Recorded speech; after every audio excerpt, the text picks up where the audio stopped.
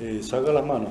Me costó desplazarme, me costó encontrar el ritmo de pelea, el tiempo, eh, ante un Peralta que no, no es pegador, pero eh, sí boxeó bien, un boxeo olímpico de largo, pero bueno, no sé, capaz fallamos con el equipo de Buenos Aires en la parte técnica, así que no, la verdad no sé qué decirte. Eh, habías trabajado con ciencia porque la última nota que hicimos estaba todo compenetrado en esta, esta pelea con Chamil, eh, que nada de fácil, ¿no? Porque bueno, vos tenés lo tuyo y también Chamil tenía lo de él, pero han trabajado con ciencia y me decías hace un ratito fuera de cámara que estaba así como, como raro, como duro, ¿no?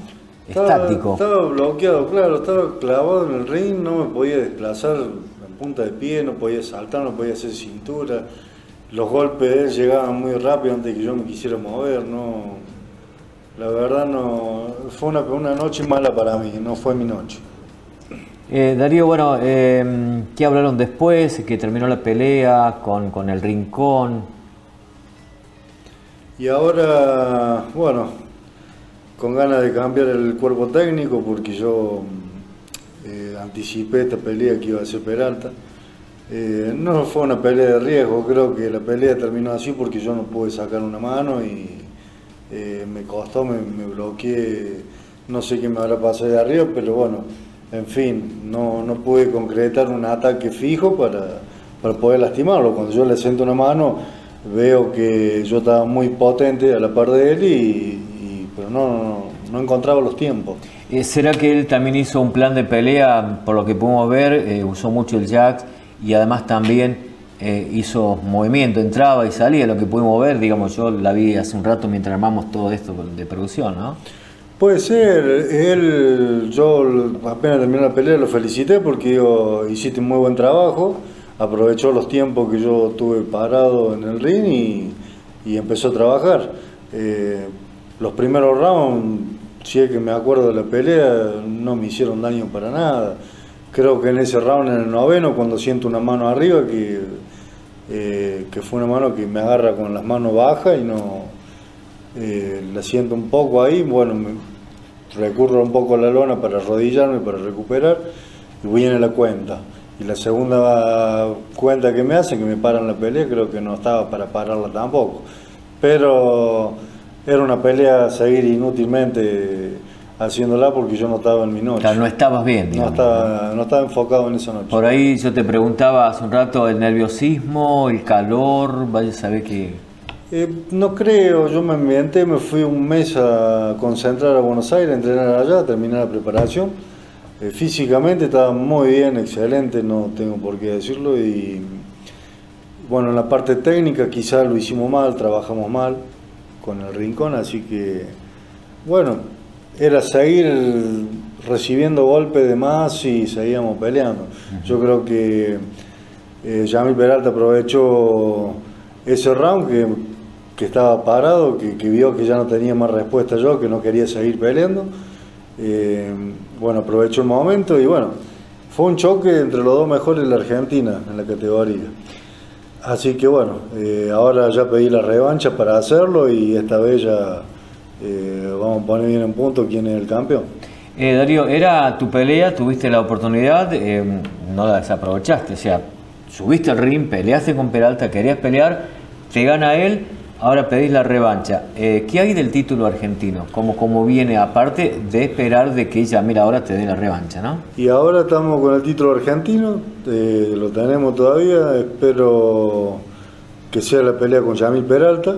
Ahora se va a Tokio a los Juegos Olímpicos, así que cuando regresa, eh, esperamos el reto oficial por la FAD y en lo cual yo también voy a presentar mi reto oficial que lo voy a retar por los dos cinturones, los dos cinturones, unifiquemos los tres. Ah, claro, claro. Yo pongo el que tengo, el argentino, y el que propongo que ponga el sudamericano y el latino que tiene. Y bueno, el que gana que se quede con todo y, ya no hay más, más para darle. ¿Vos creés que Yamil va a aceptar o va a hacer algunas peleas antes? No. Él sabe que es una pelea muy dura y que me ganó porque yo no quise tirar una mano, o sea, no me salió esa noche.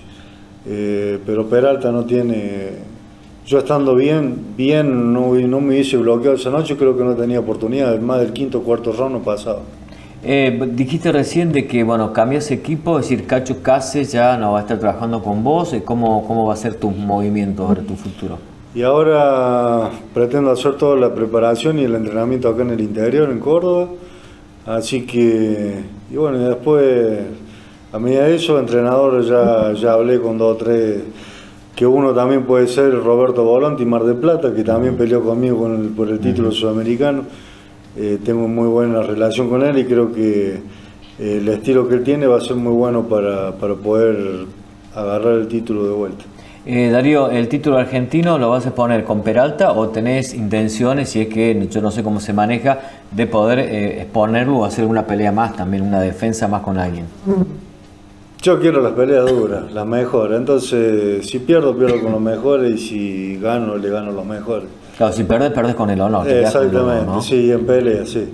Así que mm, yo voy por Peralta, ya la tengo acá. Así que cuando, cuando le gane, ya calculo que no me queda más boxeadores acá para pelear en Argentina.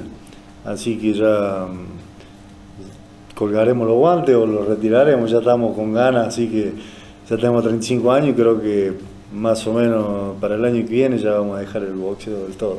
Y tenés un año por delante, ¿no? Recién empieza esto.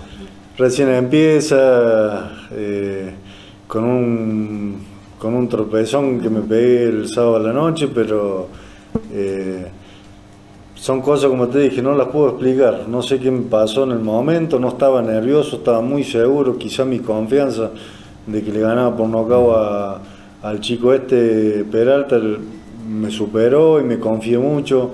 Quizás él me planteó una pelea que yo no le esperaba tampoco.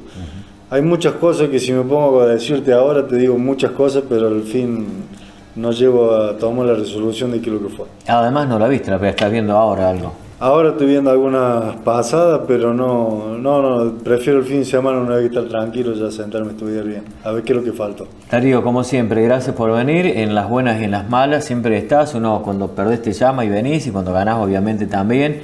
Eh, y bueno, y que tu futuro, como te lo dije la otra vez, sea lo que vos elijas y bueno, que salga lo mejor, ¿no? Y si es con Chamil... Esperemos, esperemos volver a tener el título sudamericano, que yo me quiero retirar campeón de la categoría vamos a defender el título argentino con todos los honores que se pueda defender y, bueno, y ahora el más, ya con Peralta ya lo, ya lo vimos, creo que la gente lo vio y Peralta no tiene más de lo que hizo el sábado a la noche, porque estaba muy preparado físicamente, estaba concentrando en el cenar. Yo la preparación la hice en José Cepá también, en Buenos Aires. Así que los chocamos los dos y bueno, cuando está en el primer nivel esto pasa, es como, todo, como todos los deportes.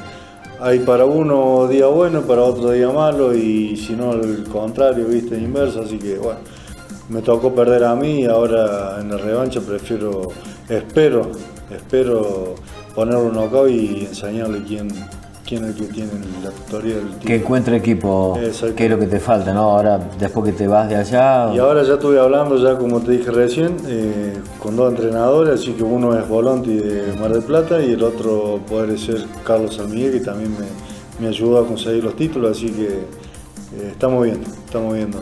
Darío, muchas gracias. no, gracias a usted.